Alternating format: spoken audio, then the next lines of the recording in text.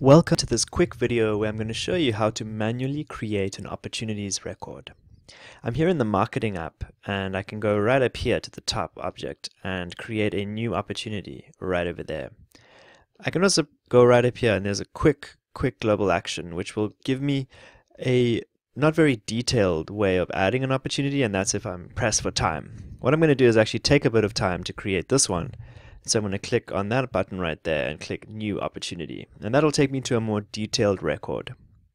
And what I'm thinking about in relation to this opportunity is not only how much it's worth, but also some important information that can help me keep track. All right. So here I'm going to call this Unogwaja 2020. All right. So that's the that's the campaign. I'm going to add, I'm not going to add a new organization. I'm actually going to connect this to an organization and there it is right there, Unogwaja.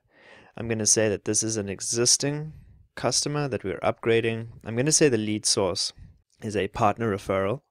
And I'm going to say the role is a rider or support crew. So this is an event that we have. And I'm going to say that this person is a support crew. The currency is in rands. And I'm going to say that this is worth 50,000, this opportunity. Okay. And it's going to be closed in November 2019 around the same time. Okay.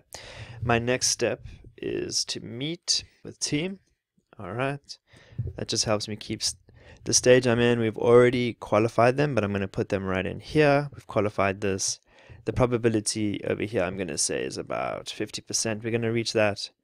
And this is part of Unogwaja Challenge 2018. There we go. Now I can also add delivery status right in there.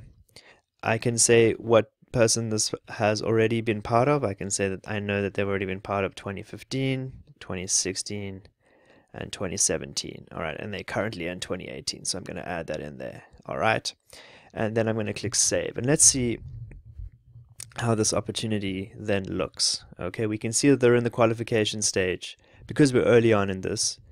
Um, we can see how much they're worth. We can see that I am the owner of this we can see what organization they connected to. And if we hover over, we can see a bit more information here. All right. We can add some, upload some folders and files up here. We can look at where they are. We can see that we have a probably a 50% chance of getting our total revenue.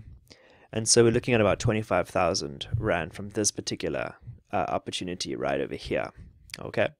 I can also change this status if I need to, okay, and, and move it up and mark this as the current stage, and that helps me just quickly update this information. I can also go into details and change this person as I go through, change this opportunity, and I can also really update my team in relation to this, and that's really helpful as we're all working on the same uh, project. When I think about the next steps, um, this helps me think about the meetings that I need to set up. I can also look at the past activity once I've got it set up. And that really helps me get a sense uh, of really pushing this opportunity all the way through and make sure that I close it. So I hope you enjoyed this quick, quick video, and uh, I'll see you in the next one.